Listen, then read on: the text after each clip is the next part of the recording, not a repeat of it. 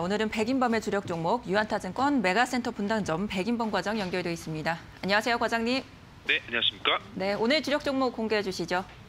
네, 이번 주 같은 경우 한국 항공우주, 또 GST, 한화시스템, 인텔리안 테크 등에 대한 좀 관심을 좀 기울여 볼 시기지 않을까라고 보여지고 있고요.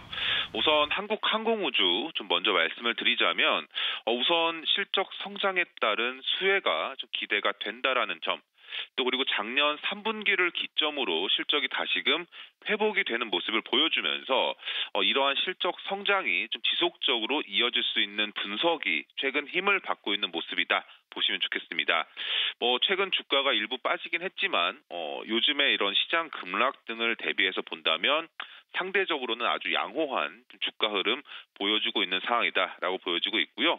그리고 또 최근 시장의 우려 요인 중에 큰 요인이죠. 뭐 금리 인상이라던가 물가 급등 등의 요인에 덜 영향받는 방산업종에 속해 있다라는 점도 시장 투자자들의 관심을 받고 있는 모습입니다.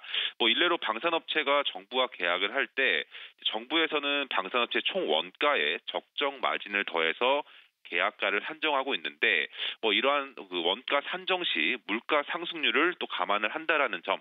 또 그리고 물가가 또 예상보다 큰 폭으로 상승한다고 하더라도 어 3, 4년마다 재계약을 하기 때문에 뭐 그에 따른 손실 우려감은 좀 극히 적다라고 보시면 좋을 것 같습니다. 또 거기에 또 향후 성장 모멘텀이라고 볼 수 있는 뭐 2023년도 약 10조 원 규모의 미국 ATT 사업 또 2024년도에는 KF21 양산 사업 발주도 예정이 되어 있다라는 점에서 관심 있게 지켜보시면 좋을 것 같고요.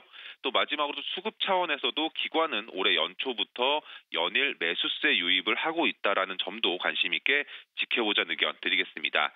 그리고 두 번째 종목으로는 GST 좀 보시면 좋을 것 같은데요. 뭐 마찬가지로 최근 시장 흐름과 빗대어 본다면 상당히 주가가 견조하게 움직이고 있습니다.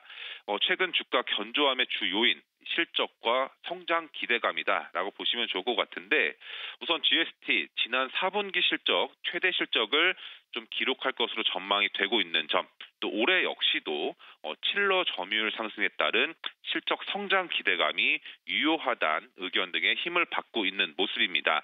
뭐 작년 같은 경우에는 국내 반도체 이런 CAPEX 감소에도 불구하고 중화권 등의 이런 고객사 확대로 동사의 이런 scrubber 점유율이 증가하면서 실적을 견인했던 모습이었는데 올해 같은 경우에는 GST의 스크러버를 비롯해서 칠러 점유율 상승이 기대가 되면서 실적 상승을 좀 이끌 것으로 보여지고 있습니다. 뭐 간략히 마무리 짓자면 동사의 이런 제, 그 스크러버라든가 칠러 같은 경우에는 이 친환경 이슈와도 좀 맞물리면서 이 동사가 주력하는 친환경식 장비로 전환하고 있는 추세다라는 점에서 GST의 수혜가 기대가 된다라는 점 이해를 하시면 좋을 것 같고요.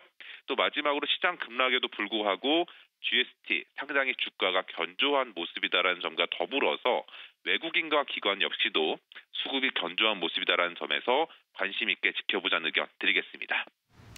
네, 오늘 말씀도 잘 들었습니다. 네, 감사합니다.